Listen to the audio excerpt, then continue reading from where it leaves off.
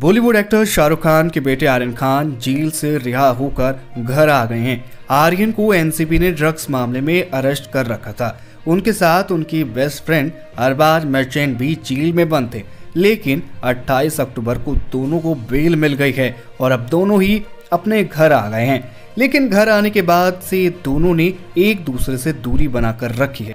जी हाँ इस बात का खुलासा खुद अरबाज के पिता असलम ने किया है। ई टाइम से बातचीत में असलम ने बताया है कि आर्यन और अरबाज एक दूसरे से बात नहीं कर रहे हैं और ना ही फ़िलहाल करेंगे, पर ऐसा क्यों है? दरअसल कुछ कानूनी कारणों की वजह से दोनों एक दूसरे से दूरी बनाकर रखेंगे। असलम ने बताया है कि आर्यन और अरबाज जब से रिहा होकर घर वापस आए हैं, उसके बाद से एक दूसरे से बात नहीं कर रहे हैं। लेकिन ऐसा बेल की शर्तों की वजह से हो रहा है। ऐसा करना अरबाज के लिए बहुत मुश्किल है, लेकिन उसका कहना है कि वो सिस्टम के हिसाब से चलेगा, उसे फॉलो करेगा।